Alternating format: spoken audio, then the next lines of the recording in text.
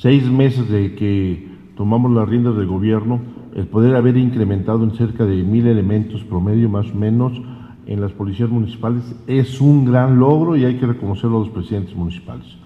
Sí, había una gran área de oportunidad ahí, teníamos que hacer que los 217 municipios activaran este tema, se invirtiera en seguridad pública y asumieran la gran responsabilidad de poder estar atentos a la flagrancia y a la prevención del delito. Así es que gracias a todos los presidentes que han hecho caso a este llamado, hemos seguido reforzando con patrullas, reforzamos con armamento, seguimos en las capacitaciones, se hizo un eje transversal